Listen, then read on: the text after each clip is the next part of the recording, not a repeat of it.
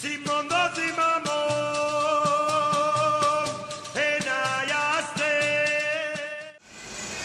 My wife started, you know, since we were in a restaurant here, what, 25 years ago? But she was doing it even when she was uh, 16 anyway, you know. But here, she's reopened it. But gradually, we made more different pasta. My mother used to teach me uh, how to cook, to watch uh, my brothers, because we are 10 in the family. Mother had to go somewhere, 9, 12 years old. I had to watch my kids. If I'm not home, you cook pastina or some stuff for the for your brothers. yeah, I was into the mother already.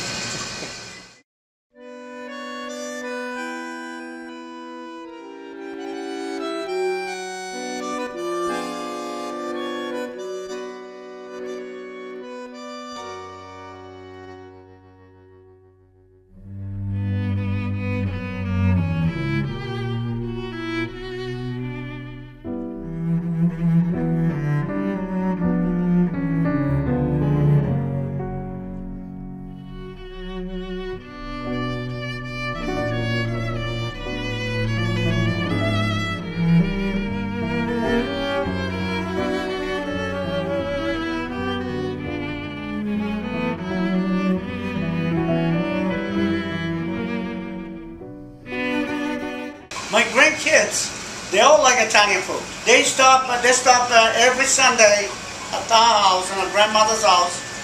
They eat and they leave. That's how they do.